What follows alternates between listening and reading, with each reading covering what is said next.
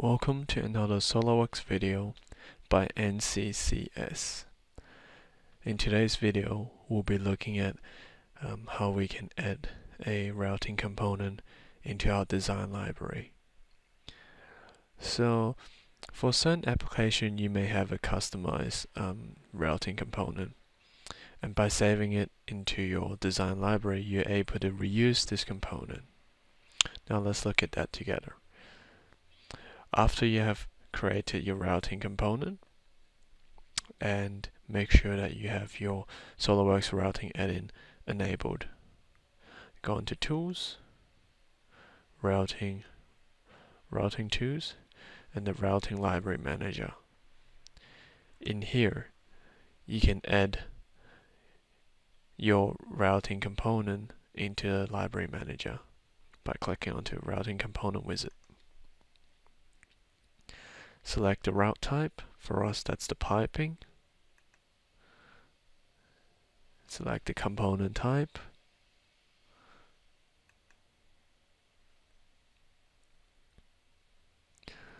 Specify points uh, that are required by SOLIDWORKS. So the C.1 and C.2. These um, tell SOLIDWORKS which way um, the pipe will be going towards for us we've already um, uh, specified them which is just here.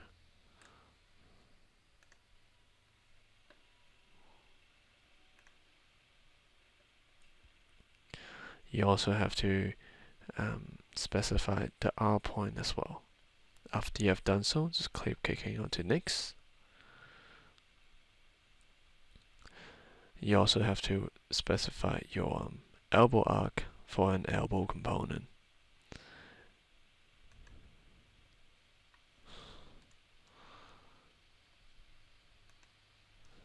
You can just specify them and keep going to next. SOLIDWORKS will now check for other variables that may need uh, to be identified manually. After the part checking, you then go on to the design table check where it will show you um, some components that may not be properly added or defined just yet.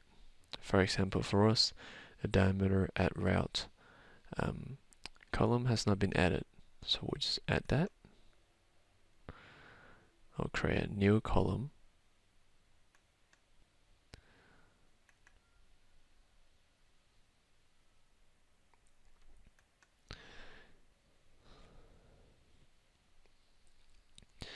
You can also access your design table through here.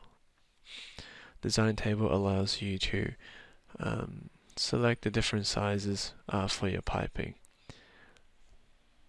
Clicking onto next, and this will show uh, some details about your routing component. You can change the specification through here. Look at the N40, 45 degrees. You can see all these information. Go back onto our DN100.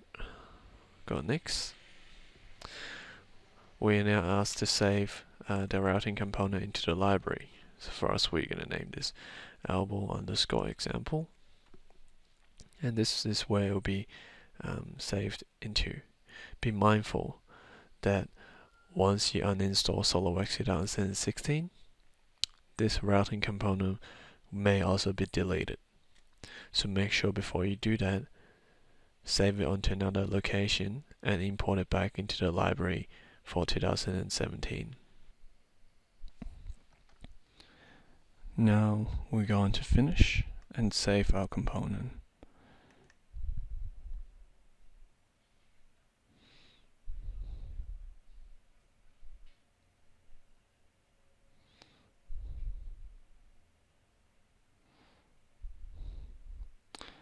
Click yes and add this to your piping and tubing database.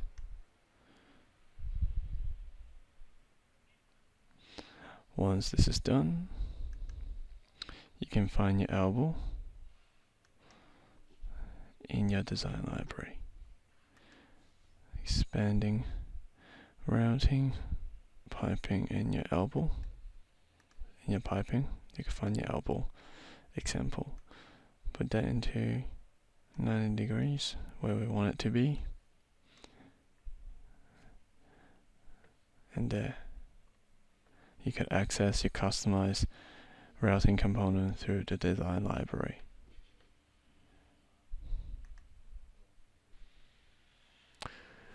Thank you for watching another video by NCCS, your SOLIDWORKS provider.